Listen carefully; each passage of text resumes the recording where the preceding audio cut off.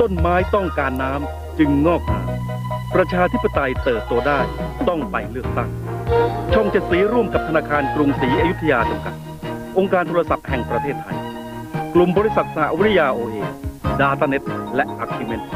รายงานผลคะแนนเลือกตั้ง สดทันใจด้วยระบบเครือข่ายคอมพิวเตอร์ออนไลน์ ถ่ายทอดสดผ่านดาวเทียมให้ชมทั่วประเทศ 13 กันยายน วันเลือกตั้ง